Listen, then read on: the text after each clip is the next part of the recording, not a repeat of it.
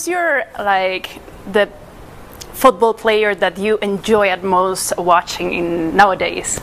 It has to be Messi. Yeah. You know, I, I love Leo uh, for many different reasons. I love him because he's a great father.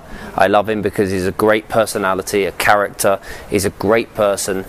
Finally, the legend of football, the England national team former player uh, David Beckham realizes that he, uh, why he idolizes and admires Lionel Messi, and openly he says he admires Lionel Messi only because of the uh, playing style of the god of all the time and the dribbling style. Of course, uh, he is so impressed and so much attracted with uh, Lionel Messi's playing style.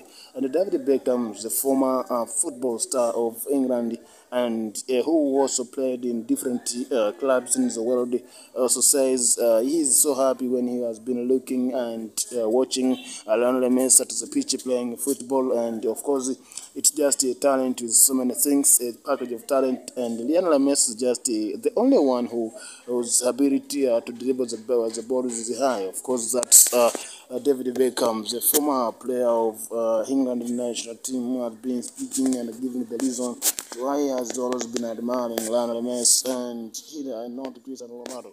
That's uh.